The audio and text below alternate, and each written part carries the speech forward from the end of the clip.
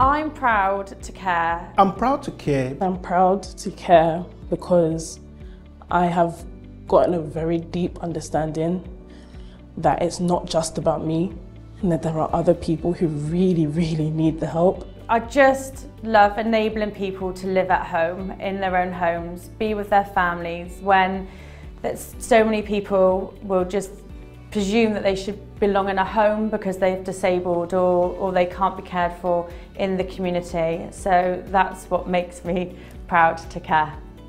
A lot of times the people we care for are not able to care for themselves.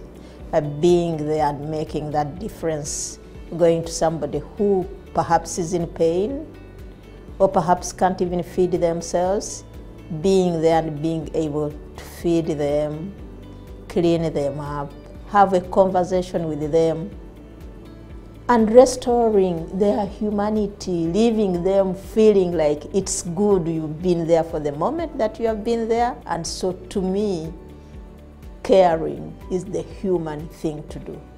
Giving care is not an easy job, but it's something that's kind of worth your while. At the end of your shift, it's good to see the appreciation on people's faces for what you do. My son was in long-term hospitalisation and he got brilliant treatment and I just wanted to maybe at least do something to help as much as they did for my son. It is in a sense of achievement that you've enhanced somebody's life that day. I'm really proud to care because it's actually a real privilege to be able to care for a lot of people, to, you know, to help them in their sort of greatest need. It's the really simple things that really help, that can make that difference. So to be able to give somebody a shave in care, like it's such a simple task, but it means such a lot to somebody. And I think that's what's always really important, is to remember that person that you're looking after. Most people need care at one point in life.